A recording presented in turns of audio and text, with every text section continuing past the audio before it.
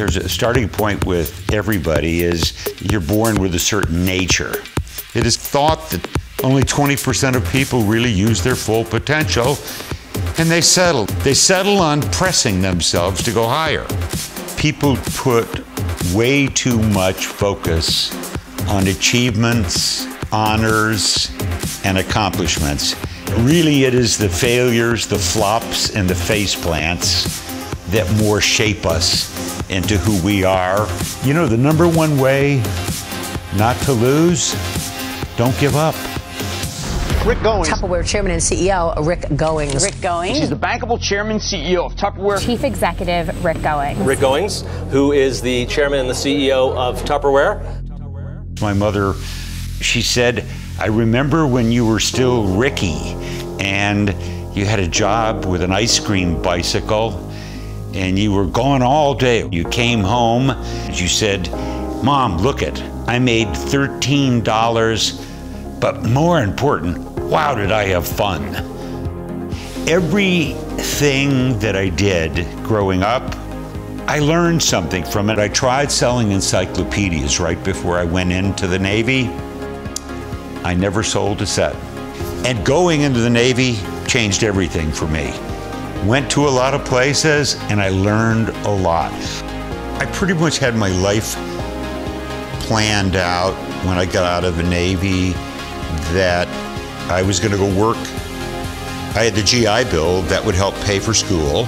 And so I went in wonderful school, uh, an old Quaker school. And I never will forget walking in that Quaker meeting hall. First, had a sign above the door. It said, pray, but when you pray, move your feet. And that stayed with me for my life. And within a year, started my own company. And uh, that was an amazing time. The only way people are ever going to get what they want is to first conceive what they want in their head. The mental equivalent has to be developed first of all. I don't care how qualified as a Grand Prix driver we are, in the wrong vehicle, we're not going to win the race. The most important word to me is the word responsibility. To have a better life, be a better person. Rick and I both have always felt the importance of hard work.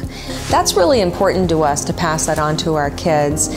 The responsibility you have in life to be responsible. I made a lot of money in my 20s, but I spent it as well. So I lost a lot in my 30s on the next venture.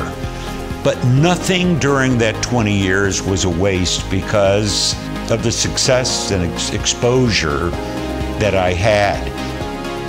Rick is the most prepared person I have ever seen. He's always learning, always uh, has a book, is writing something, literally never stops studying. Do you know the major thing I worry about? Running out of time before I've learned all the things I want to learn and experience all the things I want to experience. He always wants to figure out a way to do it better. I was hired with a specific charge to maximize Tupperware's worldwide sales and profit potential.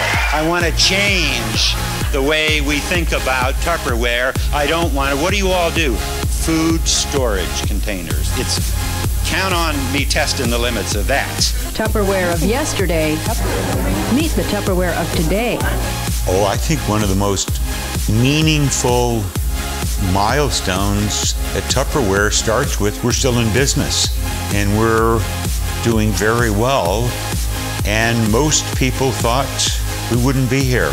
In serious industry circles, when you talk about Tupperware, you talk about a company that has been, if you will, a vehicle that literally changes people's lives and provides them an opportunity to change their life from whatever it is now to however much more they would like it to be.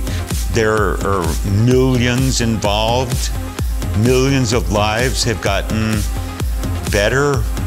We change lives and it's been happening since the early 1950s. And so all I am is a facilitator. I want to ensure we do the right kind of things so that more people get to drink from this great fountain called Tupperware. If I can do it, you can do it.